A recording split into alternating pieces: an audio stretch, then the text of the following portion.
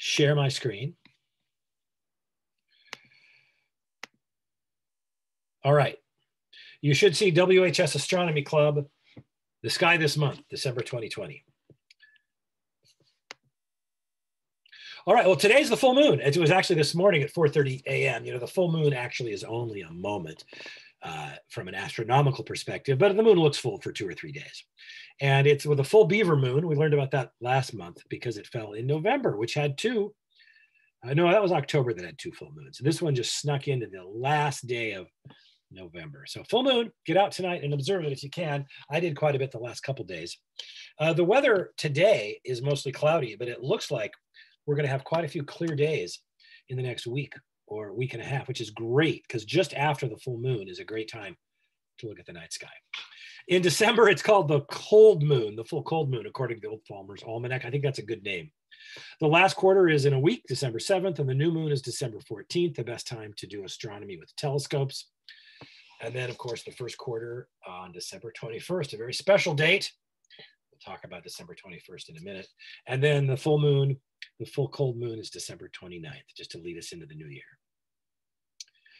There's the uh, big picture of what the moon looks like for the next month. So yeah, the moon looks full for two or three days, two or three days, and it's mostly gone for two or three days. But the truth is, it's constantly changing second by second. All right, on to the, uh, the sun. So that was a picture taken today, today by the Solar Dynamic Observatory, which is a telescope in space that NASA operates.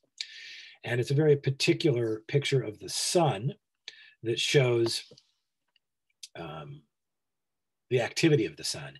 And you might remember last month, the sun was pretty quiet. It's got two big storms going on here. Those are magnetic storms. And over here, we can see the corona has some flares in it as well. So it looks like the sun is getting more active. Now, I promised to talk a little bit about December 21st. As we know from middle school, the sun, the earth is tilted on its axis about 21 and a half degrees. And um, it orbits the sun, of course. And there's one day of the year right here when the tilt uh, I said 21 and a half. It's 23 and a half degrees. I misspoke. Um, the tilt is at its maximum away from the sun, meaning the northern hemisphere is tilted as much as possible as it can ever get away from the sun. That's called the winter solstice. Uh, the reason it's called solstice, that word translates as the sun stands still. And as a kid, that always confused me because the sun doesn't stand still ever. But if you were to watch the arc of the sun across the sky, as ancient people did because they weren't in buildings all the time and there wasn't light pollution, the sun makes an arc from east to west every day. And as it gets closer to winter, that arc gets lower and lower in the sky. And it's not the sun that stands still, it's the daily arc of the sun that stands still. Every day for the last six months, that arc has been getting lower and lower and lower. But December 21st and 22nd, it will stop getting lower and turn around and get higher. And that's the origin of the word winter solstice. Now, it's the winter solstice, just like the full moon, is not a couple of days, it's a moment. Uh, I have it written pretty soon what moment it is this year. Um, but what it means is it's the longest night of the year for us. And of course, then the next astronomical holiday is the vernal equinox, the spring equinox on March 21st or 22nd.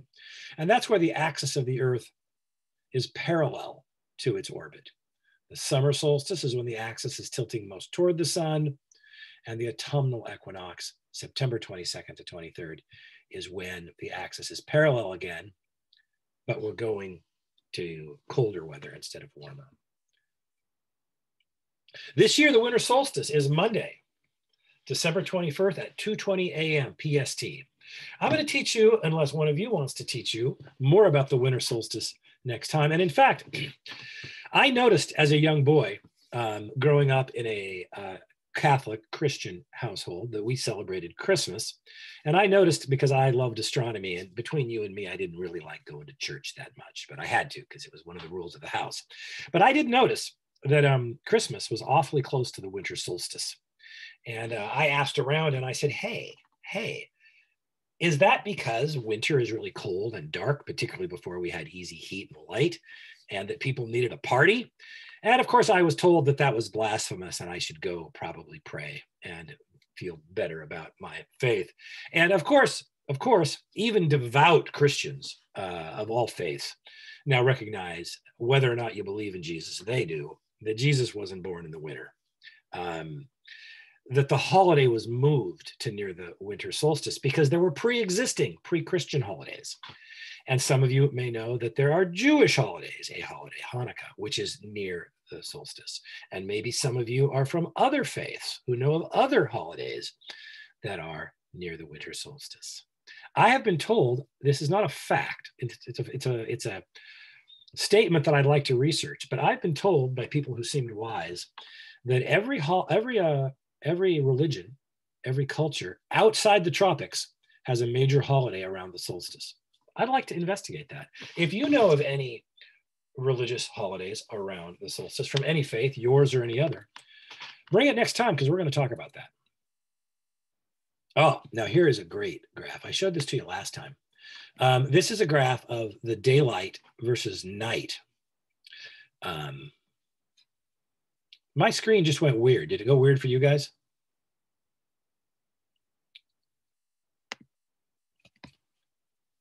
Give me just a second. I'm not sure what happened.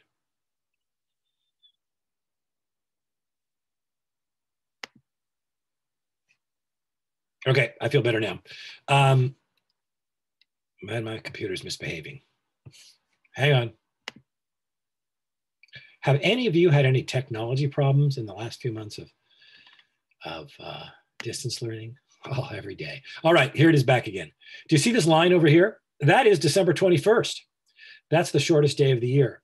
You can look down here at this data, and we have 11 hours and 42 minutes of night on that day, and eight hours and 42 minutes of light. Now, you might notice if you're clever, that does not add up to 24. That's because we have this stuff called twilight. And um, most people just think there's twilight between dark and light, between light and dark. But actually, there's three different twilights. There is civil twilight.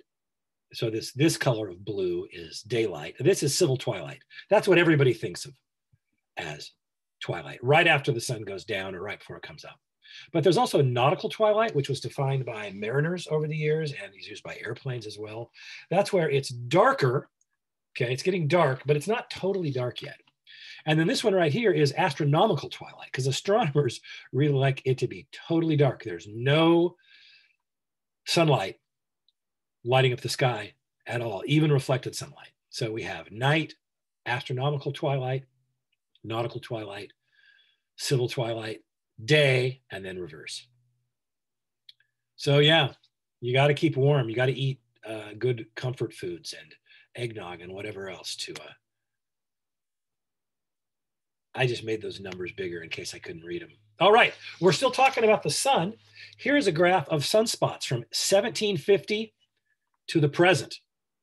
And you can see that the sun has a periodicity of sunspots, although there in the 1800s, it disappeared mostly for a while. And this last little blue part here is enlarged here. We had a minimum of sunspots about 2008, a maximum around 2014, and a minimum around 2020. For most of the last year, we haven't had any sunspots, but look what's happening here. We're starting to get sunspots again up here in about 2025 or so. We're going to the next solar maximum. And what do you know? This was a picture taken today. Indeed, again from the Solar Dynamic Observatory. What are these black dots? They are sunspots. Here's the Earth for reference, and there's Jupiter. So there's some little tiny sunspots, smaller than the Earth here. There's one that's Earth-sized or a little bigger right there. And then there's a giant sunspot. Well, maybe not a giant, but a very large. It's way bigger than the Earth, but not as big as Jupiter. So I think we would probably call this three sunspot clusters right now. We're starting to have more sunspots. Very cool. As a future activity, I want to teach you all how to um, how to look at the sun safely.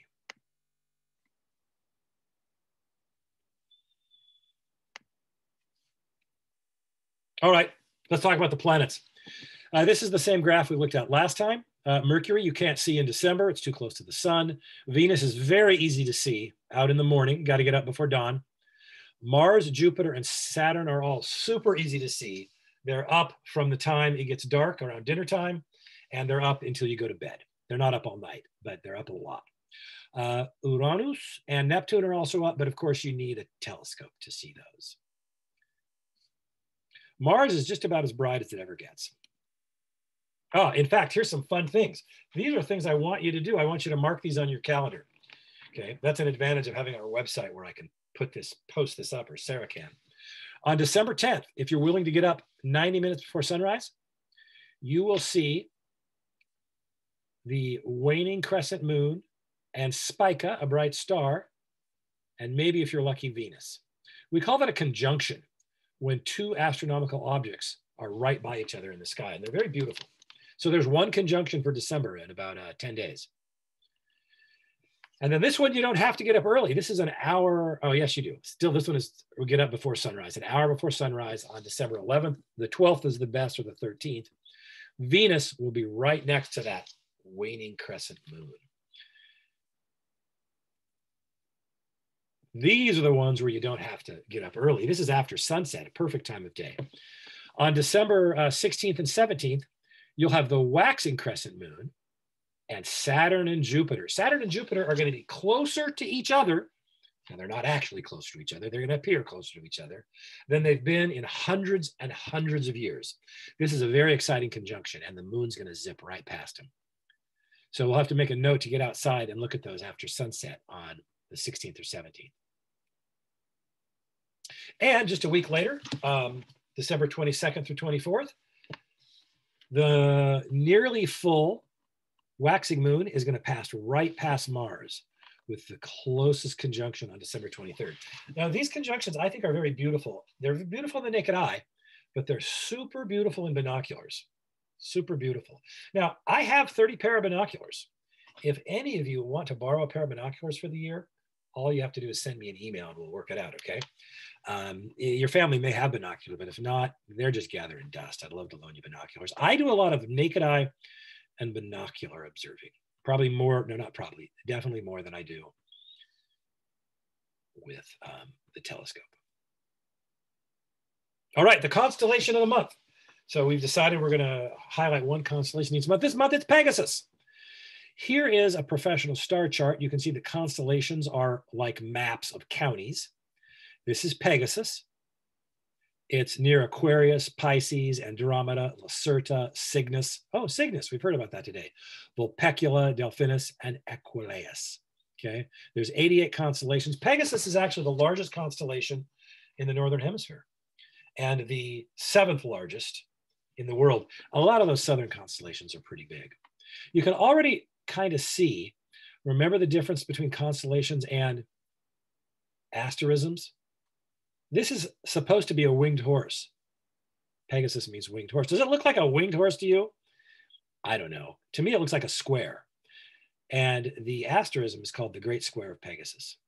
Now, this is an artist drawing of just the 14 brightest stars.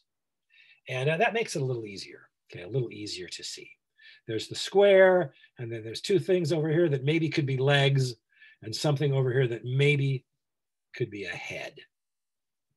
Uh, the one right there is because that's a deep sky object, not a star. We'll talk about it another day. And there is an artist's drawing of the winged horse. Well, partly it's upside down because the mythology came from another part of the world, much further south than us. And they um, saw it right side up at least part of the year. I still don't think it looks like a winged horse, but at least you now know where it came from. So I already told you a lot of this. It belongs to the Perseus family of constellations. Uh, it can, contains a Messier object. We'll, we'll, talk about Messier objects. Those are interesting objects um, cataloged by Charles Messier a couple hundred years ago. It has nine stars with confirmed exoplanets. And I believe in our next student presentation, we're going to learn about exoplanets. The brightest star in the constellation is Enif. Now the stars are named um, their Greek name, Pegasi, with the ending I, and then in principle, in order of the Greek alphabet. So this one should be the fifth brightest star. that's why I said in principle, it's actually the brightest star. Really, Alpha Pegasi should be the brightest, but for historical reasons, it's Epsilon, which is the fifth letter of the Greek alphabet. But some stars, the brightest stars, have common names. Enif, I don't know how to pronounce it. Enif, I don't know.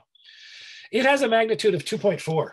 And uh, if you know your magnitude scales, that's bright enough to see, but it's not a super bright star. There is a meteor shower associated with Pegasus in July, the Pegasids. And of course, as I already told you, it's known as the home of the Great Square. And this is what I really want you to see between now and next time.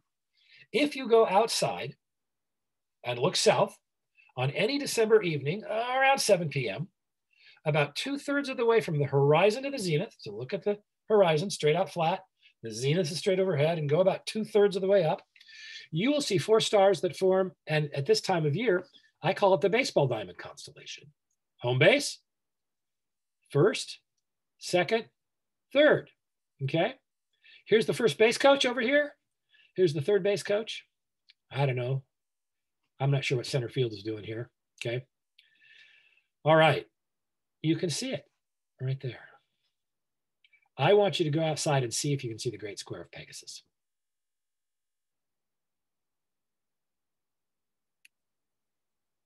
Uh, a little mythology. In Greek mythology, Pegasus is a white winged horse that sprang for the neck of Medusa when Perseus beheaded her.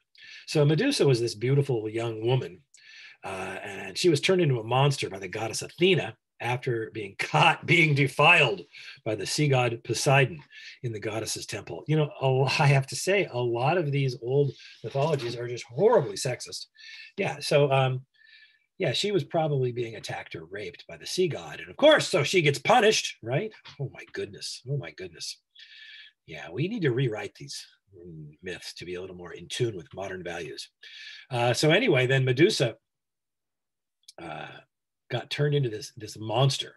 And uh, Athena turned Medusa's hair into snakes and made her face so ugly that anyone who looked at her immediately turned to stone. You, you've probably heard that story. Okay. So uh, Perseus was sent to kill Medusa by the king Polydectes of Seriphus, who was the brother of Dictys, the man who took Perseus and his mother Danae in and raised Perseus as his own son. Polydectes wanted Danae for himself. Of course, it's always about some creepy guy wanting the woman for himself. And Perseus stood in his way because he wanted to defend his mother from the king's advances. You know, read assaults. Okay. Uh, so, you know, the king sent Perseus off, expecting Perseus to be killed. Okay. He, he, liked that. He wanted the son to get out of his way so he could have his way with the mom. But when Perseus killed Medusa, um, Pegasus and the warrior Chrysaor sprang from her neck, both of them offspring of the sea god Poseidon. Now, why? I don't know, but that happened. And uh, Perseus survived. There's more to the myth, but that's the teaser I'm going to give you so far. Now, the name Pegasus is derived from the Greek pegai, which means springs or water, and Chrysaor's name means the golden sword.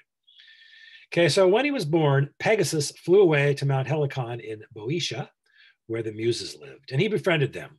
He created a spring, you know, where water po- pools up out of the ground that was named Hippocrene by striking the ground with his hoof.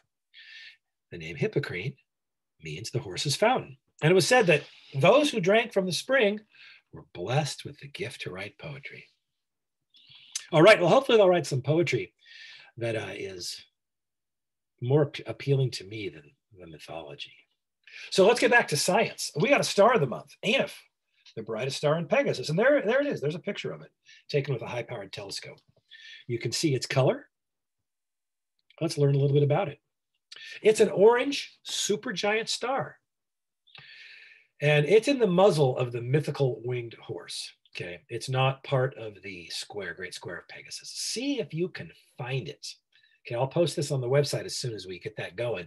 And you can find uh, Enif and see if you can find it. You can find it. It's the brightest star, 2.4 magnitude. It's about 690 light years from Earth. Well, that means it's really a bright star if it's that bright, apparently. Uh, its uh, stellar classification is K2. That means it's a supergiant. Okay. And supergiants, uh, supergiant stars are interesting. It's like 12 times more massive than the sun and 185 times its radius. So if you placed Enif at the center of the solar system, it would go all the way out to Mercury and absorb Mercury and all the way out to Venus and absorb Venus and not quite make it to Earth. Okay, that's on big honking star. Uh, it's a cold star though. Uh, er, uh, our star, our sun is 5800 Kelvin. It's only 4300 or 400 Kelvin, but it's like 4,000 times more luminous. Wow, it is super, super bright. Uh, it has a projected rotational velocity of eight kilometers per second, which is really fast. And this is what I find most interesting about it. Its estimated age is about 20 million years. Do you know how old our sun is? 4.5 billion years. Our sun is about halfway through its life, going to be lived about 9 billion years. This star is 20 million years old, but it's not going to live that long. Okay. Stars this massive and this luminous have very short lives. And we think it's going to die soon, like in the next 5 million years or so. And it might be massive enough to be a supernova, meaning it would explode in a massive explosion. But it, we don't know that. It also could end its life as a white dwarf. Okay. White dwarfs um, don't explode, they do shed off their outer layers and become a small, compact white dwarf. We just don't know enough physics yet to know if it's going to be a supernova or a white dwarf. We need more projects like NOLAN and Souls so we can figure out how stars really work. Uh, what do you know? It's a variable star. What do you know? Its brightness varies from a magnitude of 0.7 to 3.5 but it varies over extremely long time frames. So you probably won't see those. It does occasionally, though, have instantaneous almost changes in brightness. In 1972, it appeared as bright as Altair, which is like brighter than magnitude one, and it faded again in 20 minutes. It's called a super flare. They're extremely rare and nobody understands it. Okay, so you could make your mark in astrophysics by figuring out why there are super flares in some stars. I think I had that one twice. All right, and our final slide. Um, if you want to take some pictures, astro imaging, hopefully in the new year, we're going to have Maxwell give us a lesson on how to do this. But most of these I already told you about. Conjunctions are super great things to photograph. All you need is a digital SLR and a tripod. Don't forget your tripod um, and just mess with it. Uh, on the 10th, we've got the conjunction of the moon and Spica. The 12th, the moon and Venus. We do have the Geminid uh, meteor shower on the 13th and 14th, and the Ursids on the, uh, I think that's a typo, 21st, 22nd. So if you have any time on your hands and you can get away from the city, I usually don't bother to watch meteor showers in the city. Yeah, you don't want a telescope, you don't even want binoculars. You want to bundle up and get some hot cocoa and lay on your back and watch the meteor showers. We already talked about the new and full moon and the conjunction of the moon and Mars. So that is your sky this month for the month of December. I am excited to see what Violet will come up with next month. Okay, so like Minato said, if anybody wants to, winter solstice is coming up, and if anybody does want to do any kind of presentation or project relating to winter holidays and how they align astronomically, I think Lee said something about